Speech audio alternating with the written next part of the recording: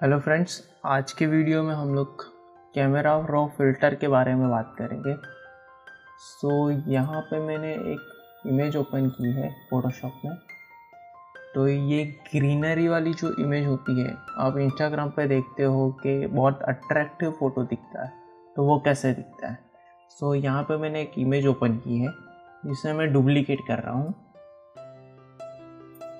Duplicate करते ही control shift ए या फिर फ़िल्टर में जाके कैमरा रॉ फ़िल्टर में जा सकते हो आप यहाँ से।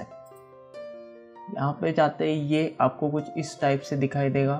तो यहाँ पे F की जो है, वो प्रेस करना है, जिससे फुल स्क्रीन मोड हो जाए। उसके बाद यहाँ पे एच एस एल एडजस्टमेंट में जाना है और हमें ये ग्रीन कलर को टारगेट कर रहा है। तो ग्रीन कलर को यहाँ पे मैं एक साइड पे खींच रहा हूँ। और यहाँ पे येलो को भी थोड़ा सा खींच रहा हूँ। तो इसका पूरा लुक चेंज हो गया। और ओके आप देख सकते हो बिफोर एंड आफ्टर यहाँ पे मेरे पास दूसरा भी एक एग्जांपल है। तो यहाँ पे ऑलरेडी एक है। तो यहाँ से मैं इसका भी डुप्लीकेट कर रहा हूँ। कंट्रोल शिफ्ट ए शॉर्टकट है। और यहाँ पे एचएसएल में जाके ग्रीन को टारगेट करने के लिए ग्रीन को यहाँ से खींचना है। और येलो को भी थोड़ा सा। और ग्रीन को कर लेता हूँ और ओके